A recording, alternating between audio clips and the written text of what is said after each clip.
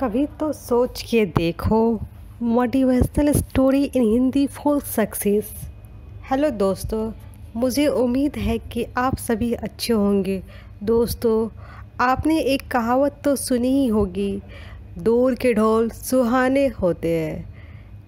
हम अक्सर सोचते हैं कि हमारे दोस्तों या फिर हमारे पड़ोसी की ज़िंदगी हमसे अच्छी है, लेकिन क्या आपका यह सोचना सही है? इस बात को समझने के लिए मैं आपको एक मोटिवेशनल स्टोरी सुनाना चाहती हूँ।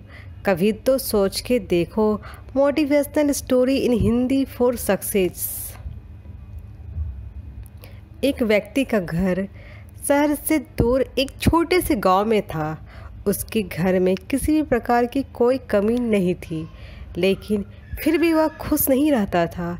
उसे लगता था कि शहर की ज़िंदगी अच्छी है। इसलिए एक दिन उसने गाँव के घर को बेचकर शहर में घर लेने का फ़ैसला लिया। अगले ही दिन उसने शहर से दोस्तों को बुलवाया जो रियल इस्टेट में काम करता था। उसने अपने दोस्तों से कहा, तुम मेरा ये घर बिकवा दो और मुझे शहर में एक अच्छा सा घर दिलवा दो। उसके दोस्तों ने घर को देखा और कहा, तुम्हारा घर इतना सुंदर है, तुम उसे क्यों बेचना चाहते हो? अगर तुम्हें पैसे की ज़रूरत है तो मैं तुम्हें कुछ पैसे दे सकता हूँ। उस व्यक्ति ने कहा, नहीं नहीं, मुझे पैसे की ज़रूरत नहीं है। मैं इस घर को इसलिए बेचना चाहता हूँ क्योंकि ये घर शहर से बहुत दूर है। यहाँ पर शहर की तरह पक्की सड़कें भी नहीं हैं। यहाँ के रास्ते बहुत ही ऊबड़ खाबड़ हैं। यहाँ पर बहुत सारे पेड़ पौधे हैं। जब हवा चलती है तो पूरा घर में पत्ते फैल जाते हैं। ये गाँव पहाड़ों से घिरा हुआ है।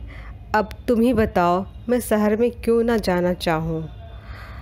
उसके दोस्तों ने कहा, ठीक है, अगर तुमने शहर जाने का सोच ही लिया है तो मैं जल्द ही तुम्हारा ये घर बिकवा दूँगा। अगले ही दिन सुबह के समय वह व्यक्ति अखबार पढ़ रहा था। उसने अखबार में एक नए घर का विज्ञापन देखा। विज्ञापन में लिखा था, शहर की भीड़ भाड़ से दूर, पहाड़ियों से घिरा हुआ, हरियालियों से भरा हुआ, ताज़ी हवा युक्त एक सुंदर घर में बसाए अपने सपनों का घर। घर खरीदने के लिए नीचे दिए गए नंबर पर संपर्क करें। उस व्यक्ति को विज्ञापन देखते ही घर पसंद आ गया। उसने उस घर को खरीदने का मन बना लिया। जब उस नंबर पर फ़ोन किया तो वह हैरान हो गया, क्योंकि ये विज्ञापन उसी के घर का था।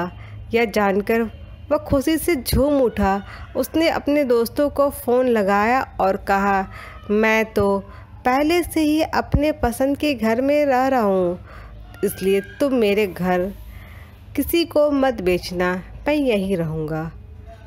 दोस्तों, इस मोटिवेशनल स्टोरी में आपको ये समझ, इस मोटिवेशनल स्टोरी से मैं आपको ये समझाना चाहता हूँ कि अधिकतर व्यक्तियों को अपनी ज़िंदगी से शिकायत होती है। वे सोचते हैं कि उसके जीवन में दुख ही दुख भरे पड़े हैं। ऐसे लोगों को